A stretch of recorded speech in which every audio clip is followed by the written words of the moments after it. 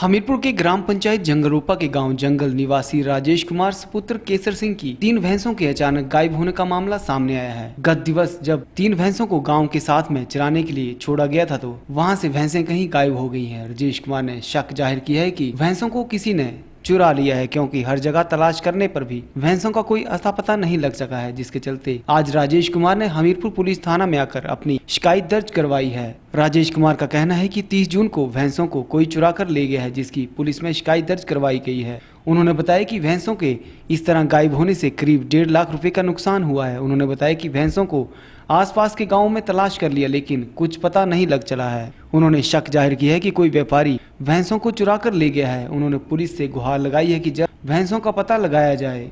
हम हत्यारे जो हैं, यहाँ पे अब तीन चार दिन के बाद पुलिस थाने में आए हैं। हमारे को जो है, इसका तीनों भैंसों का जो है मुआवजा दिया जाए और हम हत्यारे जो पुलिस थाने में आए हैं। हमारे जो है, टोकन नंबर भैंसों के कानों में पड़े हुए हैं। तो उनका नंबर ट्रेस किया जाए और हम, हमारे प्रशासन से यही मांगे कि हमारे को कुछ मुआवजा दिया जाए। जंगल उपा से है। मेरा नाम है राजेश कुमार, सन ऑफ़ केसर सिंह, गाँव जंगल।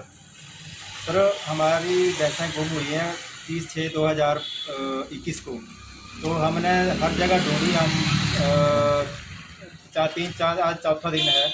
तो हम हर जगह हर हर छः सात गाँव में ढूंढ के आए। हर जगह कोई भी जगह जो है वो नहीं छोड़ी। जहाँ जो अपने घर के नज़दीक जो, जो भी एरिया पड़ता है हर जगह चार पाँच छः किलोमीटर के एरिया दायरे में जो हमने ढूंढी।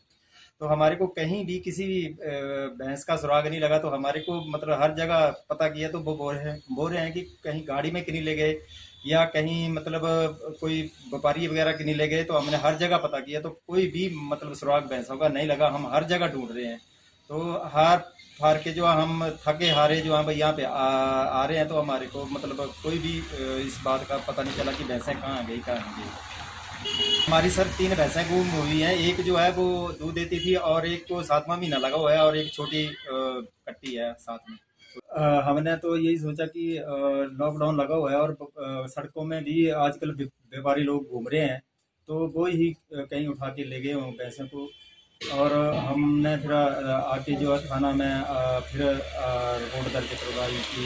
चलो मतलब हमारी सुराग लगे और जल्द से जल्द जो है कार्रवाई अमल में लाई जाए।